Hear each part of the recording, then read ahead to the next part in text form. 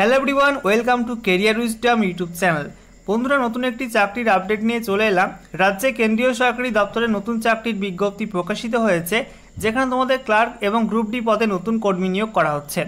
তো বন্ধুরা, এখানে তোমরা ছেলেমেয়ে সকলে আবেদন করতে পারবে এবং ভারতীয় নাগরিক হয়ে থাকলেই তোমরা এখানে অ্যাপ্লাই করতে পারবে।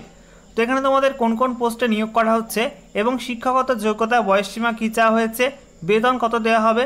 সেই সঙ্গে তোমাদের প্রার্থী আছে, পদ্ধতি কী রয়েছে? আবেদন ফি কত চাওয়া হয়েছে? আবেদন করার শেষ তারিখ কবে? এবং তোমরা কীভাবে আবেদন করবে?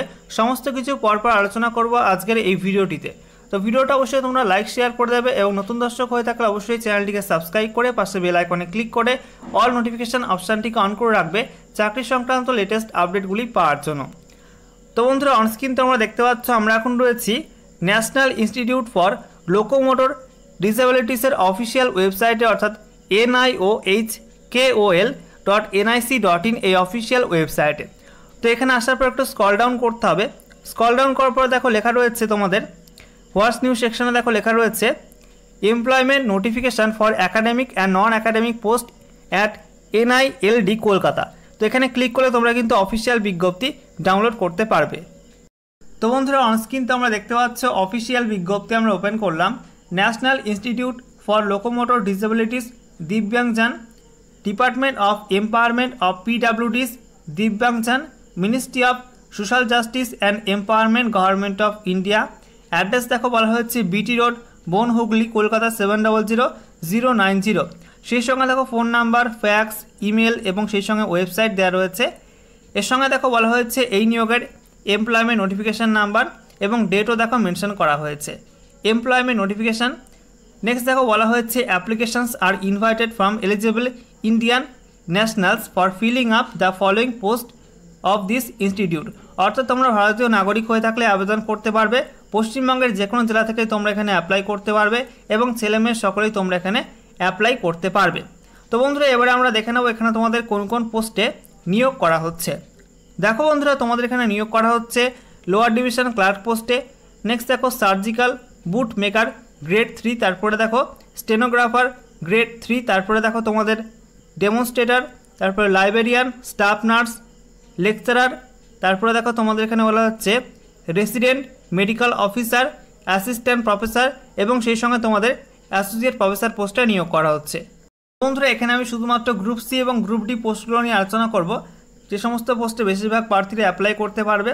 দেখো গ্রুপ সি পোস্ট রয়েছে লোয়ার ডিভিশন ক্লার্ক এখানে তোমাদের একটি শূন্যপদ রয়েছে এসসি ক্যাটাগরির এবং এই পোস্টে তোমাদের বেতন দেওয়া হবে পে লেভেল বা পে ম্যাট্রিক্স টু অনুযায়ী। এবং বয়স বলা হয়েছে সাতাশের নিচে বয়স হতে হবে। এবং শিক্ষাগত যোগ্যতা তোমাদের চা হয়েছে উচ্চ মাধ্যমিক বা এইচএস পাস করতে হবে। তার সঙ্গে দেখো, তোমাদের বলা হচ্ছে টাইপিং স্পিড থাকতে হবে ইংলিশে। তিরিশটি ওয়ার্ড পার মিনিট অথবা তোমাদের হিন্দিতে পঁচিশটি ওয়ার্ড পার মিনিট যে কোনো একটা হলে হবে। এবং তোমাদের কিন্তু বলা হচ্ছে যে ম্যানুয়াল টাইপরাইটারে এটা কিন্তু স্পিড চাওয়া হচ্ছে। অথবা তোমাদের কম্পিউটার টাইপিং স্পিড চাওয়া হচ্ছে ইংলিশের ক্ষেত্রে পঁয়ত্রিশটি ওয়ার্ড পার মিনিট অথবা তোমাদের হিন্দিতে তিরিশটি ওয়ার্ড পার মিনিট তোমাদের কিন্তু কম্পিউটার টাইপিং স্পিড চাওয়া হয়েছে, ঠিক আছে? এবং সেই সঙ্গে দেখো তোমাদের বলা হচ্ছে কি ডিপ্রেশন এখানে বলা হচ্ছে থার্টি ফাইভ ওয়ার্ড পার মিনিটের ক্ষেত্রে দশ হাজার পাঁচশো কি ডিপ্রেশন পার আওয়ার এবং তোমাদের তিরিশটি ওয়ার্ড পার মিনিটের ক্ষেত্রে কিন্তু ন হাজার কি ডিপ্রেশন পার আওয়ার তোমাদের কিন্তু average of key depression of each word চাওয়া হয়েছে, ঠিক আছে? পরবর্তী পোস্ট রয়েছে surgical boot maker grade three এটি গ্রুপ ডি পোস্ট এখানে একটি ভ্যাকান্সি রয়েছে আনরিজার্ভ এবং বেতন বলা হচ্ছে পে ম্যাট্রিক্স টু অনুযায়ী বেতন দেওয়া হবে। তোমাদের বয়স বলা হয়েছে, সাতাশের নিচে বয়স হতে হবে, শিক্ষাগত যোগ্যতা চাওয়া হয়েছে মাধ্যমিক পাস অথবা তোমাদের লেদার গুডস মেকারে আইটিআই কোর্স করা থাকতে হবে অথবা তোমাদের সার্টিফিকেট কোর্স করা থাকতে হবে প্রস্থেটিক অ্যান্ড অর্থোটিক্স এবং সঙ্গে তোমাদের এক্সপিরিয়েন্স দেওয়া হয়েছে লেদার ওয়ার্কসে এবং সঙ্গে তোমাদের ফুটওয়ারে কিন্তু এক্সপিরিয়েন্স দেওয়া হয়েছে। এরপরে দেখো গ্রুপ সি পোস্ট রয়েছে স্টেনোগ্রাফার গ্রেড থ্রি এখানে একটি ভ্যাকান্সি আনরিজার্ভ রয়েছে এবং তোমাদের বেতন দেওয়া হবে পে ম্যাট্রিক্স ফোর অনুযায়ী। বয়স বলা হয়েছে, সাতাশের নিচে বয়স হতে হবে, শিক্ষাগত যোগ্যতা চাওয়া হয়েছে, যে কোনো শাখায় গ্র্যাজুয়েশন পাস, সঙ্গে তোমাদের শর্ট হ্যান্ড স্পিড চাওয়া হয়েছে, আশি ওয়ার্ড পারমিট অথবা তোমাদের হান্ড্রেড ওয়ার্ড পারমিট ঠিক আছে? সেই সঙ্গে তোমাদের টাইপিং স্পিড চাওয়া হয়েছে তিরিশটি ওয়ার্ড পারমিট অথবা তোমাদের চল্লিশটি ওয়ার্ড পারমিট টাইপিং স্পিড চাওয়া হয়েছে। সেই সঙ্গে দেখো তোমাদের এক্সপিরিয়েন্স বলা হচ্ছে, তোমাদের স্টেনো টাইপিস্ট হিসাবে কিন্তু দু বছরের এক্সপিরিয়েন্স থাকতে হবে, ঠিক আছে? এরপর দেখো তোমাদের এখানে প্রার্থী বাছাই কীভাবে করা হবে। বলা হচ্ছে তোমাদের গ্রুপ বি এবং গ্রুপ সি পোস্টের ক্ষেত্রে প্রথমত লিখিত পরীক্ষায় থাকবে আশি পার্সেন্ট নাম্বার সেই সঙ্গে ডিজারেবল কোয়ালিফিকেশানে দশ পার্সেন্ট নাম্বার এবং তোমাদের ডিজারেবল এক্সপিরিয়েন্সে দশ পার্সেন্ট নাম্বার থাকবে। এবং তোমাদের বলা হচ্ছে লিখিত পরীক্ষার প্রশ্ন হবে এমসিকিউ টাইপের আচ্ছা এরপর দেখো তোমাদের অ্যাপ্লিকেশন ফি বলা হচ্ছে? তোমাদের অ্যাপ্লিকেশন ফি লাগবে তিনশো টাকা এবং সেটা পে করতে হবে তোমাদের ডিমান্ড ড্রাফটের মাধ্যমে। এবং ডিমান্ড ড্রাফটটা কাটতে হবে in favour of national institute for the orthopaedically handicapped এবং সেটা পেয়েবেল হতে হবে অ্যাট কলকাতায়, ঠিক আছে? কলকাতায় পেয়েবেল হতে হবে। এছাড়া বলা হচ্ছে এসসি এসটি এবং পিডাব্লিউডি ক্যাটাগরির প্রার্থী হয়ে থাকলে তোমাদের কিন্তু কোনো অ্যাপ্লিকেশান ফি বা আবেদন ফি লাগবে না। তোমরা ফ্রিতে এখানে অ্যাপ্লাই করতে পারবে। দেখো, তোমরা এখানে আবেদন করবে কীভাবে? তোমাদের এখানে অফলাইনে বাই পোস্টে অ্যাপ্লাই করতে হবে। এর জন্য তোমাদের বিজ্ঞপ্তির সঙ্গে এই ফর্মটা দেওয়া হয়েছে। দেখতে পাচ্ছ ফরম্যাট অফ অ্যাপ্লিকেশন এই ফর্মটা তোমরা প্রথমত প্রিন্ট আউট করে বের করে নেবে এ ফোর সাইজের পেজে এবং ফর্মটা ফিল আপ করবে। এবং সঙ্গে দেখো, তোমাদের কী কী ডকুমেন্টের জেরক্স কপি সেল অ্যাটাস্টেড করে এই ফর্মের সঙ্গে দিতে হবে।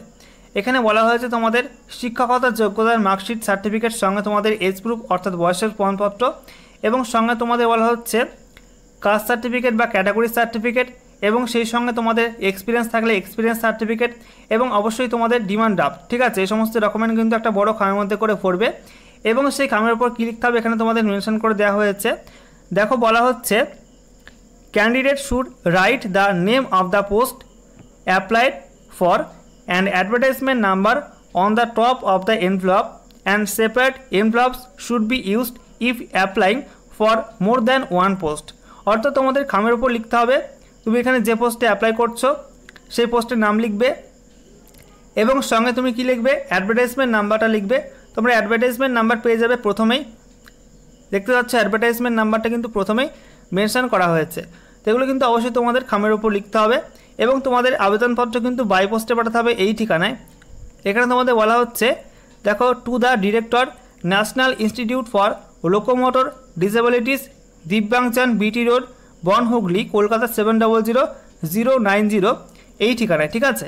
এবং সেই সঙ্গে তোমাদের লাস্ট ডেট বলা হয়েছে within thirty days from the date of advertisement in the employment news অর্থাৎ তোমাদের এই বিজ্ঞপ্তি প্রকাশের দিন থেকে আগামী তিরিশ দিনের মধ্যে কিন্তু এই ঠিকানায় তোমাদের বাইপোস্টে অ্যাপ্লিকেশন ফর্মটা পাঠাতে হবে, ঠিক আছে?